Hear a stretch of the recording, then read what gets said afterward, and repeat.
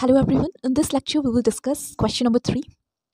Uh, explain the mechanism of photoconduction in a PV cell. So in previous lecture also we tried to just uh, discuss this particular question, but we discussed some other questions related to this one, right? For a better clarification. So now we will see this question. So the same question is written over here. This is question 1.10 and the question here is explain the mechanism of photoconduction in a PV cell. So it is it has already been asked in AKTU two times and twice and it was of 10 marks. So now uh, let us see here itself. इसी से थोड़ा सा समझने की कोशिश करते हैं ठीक है सी यहाँ पे क्या है uh, what they have written that in p-n junction after the photons are absorbed so here a term photon has been used photon you can say जो लाइट आती है सन सन से तो लाइट के दो नेचर आपने पढ़े होंगे, एक wave nature and particle nature तो यहाँ हम पार्टिकल नेचर को कंसीडर कर रहे हैं ना? तो लाइट के पैकेट्स का एक नाम है फोटॉन्स वी आर कंसीडरिंग कि लाइट एक पार्टिकल की तरह है और फोटॉन्स के फॉर्म में it is following on the surface of PV cell जो सोलर सेल है उसके सरफेस पे गिर रहा है, ठीक है? तो ये यहाँ पे ध्यान देने वाली बात है कि पीएन जंक्शन की बात कर रहे हैं हम, ठीक है? We are talking about PN junction okay तो एक बार मैं इसको आपको थोड़ा डिटेल में और like to make you understand actually what happens let's say you have a solar cell है ना? तो सोलर सेल में क्या होता है? सन से एनर्जी आती है है ना? तो हमारे पास अभी हमने पढ़ा कि जो सोलर सेल है वो किस मटेरियल का बना होता है? That is made up of silicon है ना? तो सिलिकन में आपके पास ये फोर्टीन ग्रुप का एलिमेंट है, ठीक है? It is a fourteen group element this is something we already studied ठीक है तो silicon is a fourteen group element तो फोर्टीन ग्रुप का है मतलब इसके जो वैलेंस इलेक्ट्रॉन है they are four in numbers है ना? तो इसके पास चार इलेक्ट्रॉन्स होते हैं वैलेंस बॉन्ड बनाने के लिए, ठीक है, दूसरे एटम्स के साथ। तो सिलिकन ऐसे ही सिलिकन से कनेक्टेड रहता है ना? अपना ऑक्टेट कंप्लीट करता है, चार सिलिकन दूसरे सिलिकन आइटम से कनेक्टेड हो सकता है, ठीक है? क्योंकि स्टेबिलिटी के लिए क्या होना चाहिए कि आउटरमोस्ट शेल में और आउटरमोस्ट शेल में क्या होना चाहिए? एट नंबर ऑफ़ इलेक्ट्रॉन्स होने चाहिए। तो ये पूरा एक शेयरिंग होता है, ठीक है? सिलिकन के बीच में इस तरीके से कुछ। तो ये सिलिकन नॉर्मली कंडक्ट नहीं करता है बट अगर हम कुछ ऐसा करें कि क्योंकि इलेक्ट्रॉन्स सब बॉन्डेड हैं so what if if you do such thing कि ये ब्रेक हो जाए, है ना, और इलेक्ट्रॉन फ्री हो जाए, तभी वो मूव कर सकते हैं, ठीक है? तो ज़्यादा नंबर ऑफ़ फ्री इलेक्ट्रॉन्स अगर हमें चाहिए like we want the electron to move है ना तो उसके लिए हम क्या करते हैं कि ये जो प्योर सिलिकन का क्रिस्टल बना हुआ है पूरा, इसमें हम डोपिंग करते हैं। ठीक है there is a term called doping this doping means mixing of impurities in the crystal है ना? मिक्सिंग ऑफ़ इम्प्योरिटीज़ ये एक्चुअली मैं आपको बता रही हूँ पी एन जंक्शन टर्म यहाँ पे यूज़ हुआ है ना? तो पी एन जंक्शन क्या है? We use the term P N junction है तो जो बेसिक चीज़ें हैं ना, वो थोड़ा सा हम क्लियर कर लेते हैं कि पी एन जंक्शन क्या होता है? What is P N junction तो यहाँ पे दो टाइप के सेमी होंगे हमारे पास P type semi conductor and type semi conductor है ना? तो इन दोनों का जो फ्यूजन होगा, ये जहाँ पे ज्वाइन करेंगे तो दैट पॉइंट इज़ जंक्शन है ना? Junction means joining of two things तो क्या ज्वाइन हो रहा है? P type semi conductor and N type semiconductor या फिर आपने एक सेमीकंडक्टर का क्रिस्टल लिया और उसकी डोपिंग की। फ्रॉम वन साइड एक तरफ़ आपने पी टाइप की इम्प्योरिटी से डोप किया और दूसरी तरफ़ पेंटावेलेंट इम्प्योरिटीज़ है ना? Pentavalent impurities N type semiconductor बनाएँगे और आपकी टेट्रावेलेंट इम्प्योरिटीज़ है। Trivalent you can say trivalent impurities जो है वो पी टाइप सेमीकंडक्टर बनाएँगे ना। बाकी फोर वैलेंस इलेक्ट्रॉन जहाँ होते हैं दैट इज़ टेट्रावेलेंट तो आपका सिलिकन इज़ टेट्रावेलेंट है ना? पेंटावेलेंट मतलब आउटर मोशल में फाइव इलेक्ट्रॉन्स हैं, ठीक है? ट्राइवेलेंट मीन्स जिनकी आउटर मोशल में थ्री इलेक्ट्रॉन्स ठीक? तो थर्टीन ग्रुप एलिमेंट जो होते हैं, जिसमें कि आपके बोरॉन सिलिकन आते हैं, ये सब में क्या है? आउटर मोस्ट शेल में थ्री इलेक्ट्रॉन्स होते हैं, ठीक है? तो लेट्स से इस तरह से तो एक यहाँ पे होल रहता है, ठीक है? थर्टीन ग्रुप एलिमेंट में, ठीक है? तो यहाँ पे बोरॉन या सॉरी बोरॉन या एल्यूमिनियम है, ठीक है? और थर्टीन ग्रुप एलिमेंट है ये तो यहाँ पे तीन तो आपके पास बॉन्ड्स प्रेजेंट होंगे, तीन इलेक्ट्रॉन्स तो है but one here there is absence of electron तो ये आपका होल हो गया, ठीक है? तो ये होते हैं ट्राइवेलेंट है ना? तो इनको अगर आप सिलिकन के क्रिस्टल में ऐड करोगे, है ना? तो उससे जो आपका क्रिस्टल बनेगा that is P type semiconductor इसमें कई सारे सिलिकन एटम होंगे कहीं कहीं पे बोरॉन भी होंगे, ठीक है? तो क्या होगा कि ये जो बोरॉन है यहाँ पे आपके पास होल्स प्रेजेंट होंगे, ठीक है? कहीं कहीं पे होल्स होंगे। तो इस वजह से यहाँ पे क्योंकि होल्स है तो कहीं ना कहीं पॉजिटिव चार्ज है तो हम इसे क्या कह देते हैं? पी टाइप सेमी कंडक्टर ठीक है? This is your P type semi conductor वहीं पे आपके पास एक प्योर क्रिस्टल है सिलिकन का, और आपने इसमें डोपिंग की लेट से आर्सेनिक की। तो आर्सेनिक या फॉस्फोरस ये आपके क्या होते हैं? आर्सेनिक इज़ अ पेंटावेलेंट तो ये इसके साथ बॉन्डिंग करेगा, इधर एक सिल्कन आइटम के साथ कर लेगा, यहाँ कर लेगा, इधर भी कर लेगा और फिर भी इसके पास एक एक्स्ट्रा इलेक्ट्रॉन बच जाएगा। ठीक है? आर्सेनिक के पास एक एक्स्ट्रा इलेक्ट्रॉन रहेगा राइट इसको ब्लैक से किया होल वाइट ठीक है? तो ये इलेक्ट्रॉन यहाँ पे एक एक्स्ट्रा है right so this is your N type semi है ना? अब अगर हम इस पी टाइप सेमी और एन टाइप सेमी को ज्वाइन कर देते we get a P N junction ठीक है, ये let's it's P type it's N type है ना? तो ये जो ज्वाइनिंग है that is known as P N junction ठीक है? जैसे हमारे डायोड बनते हैं। सो इन द सेम वे तो अब हम क्वेश्चन पे आ जाते हैं। तो पी एन जंक्शन क्या वो मैंने आपको बता दिया okay so let's see P N junction पे जब फोटॉन्स जाएँगे फोटॉन्स यानी लाइट लाइट के पार्टिकल्स तो वो एब्जॉर्ब हो जाएँगे, है ना? वो पी एन जंक्शन को एब्जॉर्ब कर लेगा। अब वहाँ पे एनर्जी आ गई पी एन जंक्शन में तो क्या होगा कि फ्री इलेक्ट्रॉन्स प्रोड्यूस होंगे एन साइड में, क्योंकि एन साइड में आर्सेनिक वगैरह प्रेजेंट थे, ठीक है, उनमें एक्स्ट्रा इलेक्ट्रॉन है तो वो ब्रेक हो जाएगा ईजिली है ना दे आर फ्री और लाइट जैसे एनर्जेटिक हुई तो they will get free and they will tend to flow the P side और वो कहाँ किस साइड जाएँगे? पी साइड में. लाइक इलेक्ट्रॉन यहाँ पे होल है, यहाँ इलेक्ट्रॉन है तो electron will try to jump है है ना ऑन दीज होल्स तो ये मूवमेंट शुरू हो जाएगा from N side to P side to compensate for the respective deficiencies है ना, यहाँ पे होल्स हैं तो इलेक्ट्रॉन यहाँ पे जंप करेंगे और यहाँ एक होल क्रिएट हो जाएगा. ठीक है, इस तरीके से प्रोसेस होगी। So this diffusion will create an electric field तो क्या होगा, एक इलेक्ट्रिक फ़ील्ड डेवलप हो जाएगा। क्यों? लेट्स से यहाँ पे आर्सेनिक था ना हमारे पास तो यहाँ पे एक एक्स्ट्रा इलेक्ट्रॉन था। तो जब एक इलेक्ट्रॉन चला गया, एक स्टेबल एटम से तो उस पर पॉजिटिव चार्ज आ गया, है ना?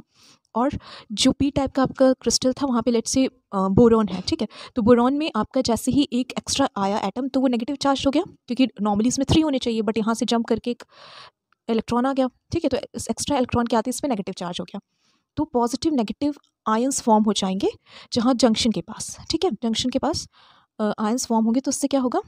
एक इलेक्ट्रिक फ़ील्ड ईएफ डेवलप होगी, ठीक है? ये नॉर्मल चीज़ तभी हो जाएगी जैसे ही आप एन और P junction N type and P type semi conductors को आपस में लाते हो, तभी ये डिफिशन प्रोसेस होता है, एक ऑटोमेटिकली पॉजिटिव एंड नेगेटिव यहाँ पे प्रोड्यूस हो जाता है, ठीक है? रीज़न तो पॉजिटिव आयन है नेगेटिव आयन है तो positive to negative field develop हो जाती है दैट इज़ इलेक्ट्रिक फ़ील्ड है और इस रीज़न को डिप्लीशन रीज़न कहते हैं, क्योंकि यहाँ पे hole cell and electrons absent हो जाते हैं, ठीक है? जो एक्स्ट्रा इलेक्ट्रॉन्स यहाँ पे वो इस होल में जंप कर गए, ये पॉजिटिव हो गया, ये नेगेटिव हो गया। तो अल्टीमेटली क्या हुआ कि जो चार्ज कैरियर्स थे यहाँ पे, है ना? वो यहाँ से डिप्लीट हो गए, यहाँ से एबसेंट हो गए, और इस रीज़न को हमने डिप्लीशन रीज़न बोला, ठीक है? तो फ़िलहाल यहाँ देखते हैं this diffusion will create an electric field E F from N region to the P region ठीक है? क्योंकि एन रीजन में क्या होगा? पॉजिटिव चार्ज आ जाएगा और पी रीजन में नेगेटिव चार्ज आ जाएगा। ठीक है? क्योंकि एन रीजन से इलेक्ट्रॉन पी रीजन में चले गए तो जहाँ से इलेक्ट्रॉन चले गए, वो पॉजिटिव हो गया और जिस रीजन में इलेक्ट्रॉन पहुँचे, वो रीजन नेगेटिव हो गया। और इसकी वजह से क्या हुआ? एक डिफरेंस क्रिएट हो गया है ना चार्जेस का। तो पॉजिटिव इलेक्ट्रिक फ़ील्ड की डायरेक्शन पॉजिटिव टू नेगेटिव होती है ना। तो एक इलेक्ट्रिक फ़ील्ड यहाँ डेवलप हो गया। This field will increase until it reaches equilibrium we the sum of the diffusion potential for holes and electrons अभी जो फ़ील्ड है इसकी वैल्यू बढ़ती रहेगी, ठीक है?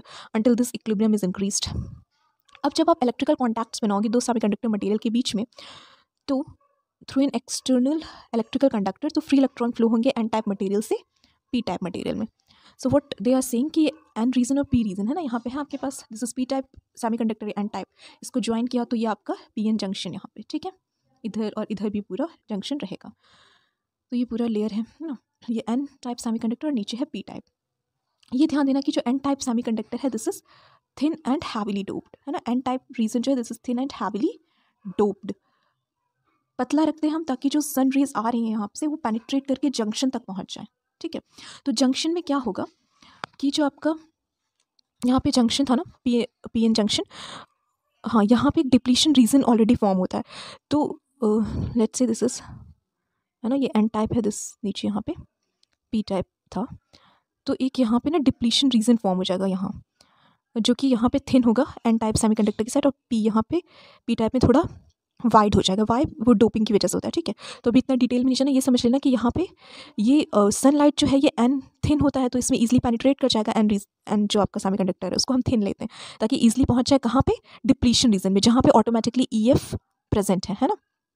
तो यहाँ पे जाएगा तो क्या होगा कि अभी यहाँ पे मैंने कहा था कि ये डिफिशियंट रीज़न है। यहाँ पे इलेक्ट्रॉन होल पेयर्स नहीं है बट जैसे ही इसको एनर्जी मिलेगी तो यहाँ बहुत ज़्यादा नंबर में इलेक्ट्रॉन और होल्स प्रोड्यूस हो जाएँगे। ठीक है तो एन रीज़न में इलेक्ट्रॉन्स बहुत ज़्यादा होंगे और पी रीज़न में होल्स होंगे बहुत ज़्यादा। तो जो इलेक्ट्रॉन अगर हम एन रीज़न से ऐसे कनेक्ट कर देना इसको एन और पी रीजन को बाहर से एक्सटर्नल लोड लगा के तो क्या होगा कि जो एक्स्ट्रा इलेक्ट्रॉन है वो इस रास्ते से फ्लो होना शुरू कर देंगे। और कहाँ चल जाएँगे? पी ये होल्स पे, क्योंकि जो अपोजिट चार्ज है वो चार्ज है वो एक दूसरे को अट्रैक्ट करते हैं। तो ये इलेक्ट्रॉन नेगेटिवली चार्ज है, यहाँ होल में डिफिशियंसी है तो यहाँ से फ्लो होकर इधर पहुँचने लगेंगे। तो क्या हो गया? आपके करंट फ्लो होने लगी, ठीक है? From negative terminal from positive to terminal तो कन्वेंशन कन्वेंशनल डायरेक्शन होती है करंट की, है ना? बट एक्चुअल में इलेक्ट्रॉन फ्लो कर रहे हैं from negative to positive terminal है ना? तो यहाँ पे आपको क्लियर हो गया। ये देखना एंड रीजन को हमने थिन रखा है पॉइंट टू माइक्रोमीटर है ना? और जो आपका पी रीजन है that is thin and lightly doped होता है। यहाँ पे जो इम्प्योरिटी वो कम है ठीक है? लाइटली डोप्ड मतलब less number of boron atom से एलमिनियम एटम हमने पी रीजन में डाले हैं ठीक है? तो ये आई थिंक आपको क्लियर हो रहा है। तो ये प्रोसेस क्लियर हो रहा है ना? देखिए सनलाइट यहाँ आ रही है एंड रीजन को पैनिट्रेट करिए और पी एन जंक्शन पे पहुँच रही है।